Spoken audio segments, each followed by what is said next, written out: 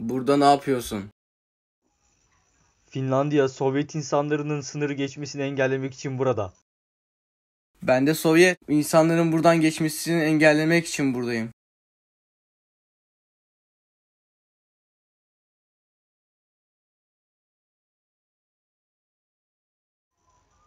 Birkaç şişe daha alacağım. Yerime bakar mısın? Tabii. Enayi.